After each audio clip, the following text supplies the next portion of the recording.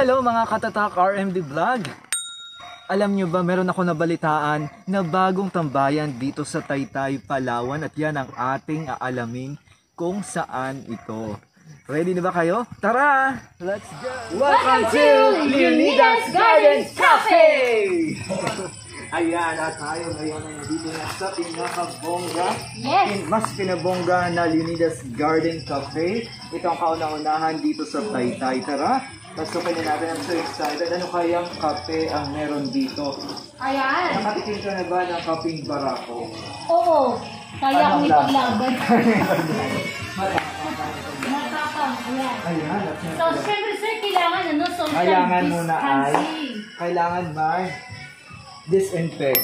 Tato, na-insik natin. Kailangan mo na magkuha ng temperature kasi kung ikaw ay nasa 38 degrees. Ikaw ay nanganganib, mas mainit ka pa sa kape. Ayan, let's go! Ano bang meron dito, no? Yes. Ano kaya? Yun yung tanong. Anong meron dito? At nandito ang may-ari. Ayan. Tan! Ayan, meron meron silang mga available, no? Ito yung ice coffee. Yan, choco, caramel.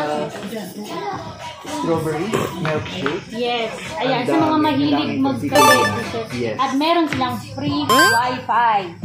Wow! Free Wi-Fi. Ano password? Dami natin kung yung password. At syempre nandito si... So, ito yung mga gusto kong i-serve dito sa Leonidas Garden Cafe kasi ako mahilig ako tumambay sa mga magagandang coffee shops and then mahilig ako mag-ice blended coffee. So, ito yung mocha, frappe, and caramel macchiato. So, ito yung caramel macchiato is combination ng caramel and syempre yung um, coffee. And then, mocha is combination of coffee and chocolate. And then, syempre, very fattening, pero masarap yung whipped cream. Yun. So, ito yung gusto kong offer sa inyo na um, actually sa mga coffee shop lang sa Manila or sa Puerto, ninyo makikita. So, ngayon, available, available na siya dito.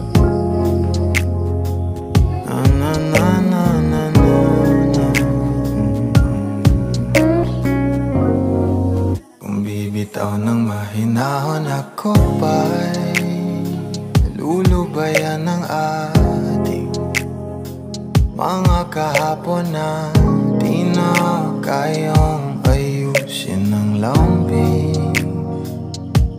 pangako pa'y sapat na upang muli tayong ipagtagpo na